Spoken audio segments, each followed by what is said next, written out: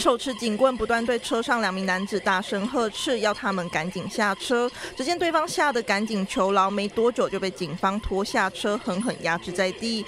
会这么大动作，原来他们车上藏有毒品。锁定眼前这辆车，远景一路尾随，因为驾驶不但违规，还拒检逃逸。对方丝毫没有减速的迹象，还越开越快。警匪追逐发生在二十七号上午十点半，远景在基隆市仁爱区南荣路发现一辆汽车不但违规，行迹可疑，于是上前进行拦查。没想到对方不但没有停下，还踩油门逃逸，一路逃到新北市汐止区大同路，过程中还倒车冲撞警车。远景立刻朝嫌犯车辆轮胎连开了四枪。远警见自身。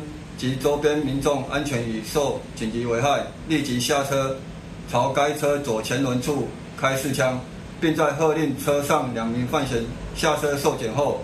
当场于车内查获三级毒品。警方开枪制止，让车上的失信男子和詹姓男子两人乖乖就范，还在车内搜出毒品。这下他们不但要背负毒品罪嫌，还要多上妨害公务和公共危险罪。警方后续也要强力溯源，这些毒品怎么来的？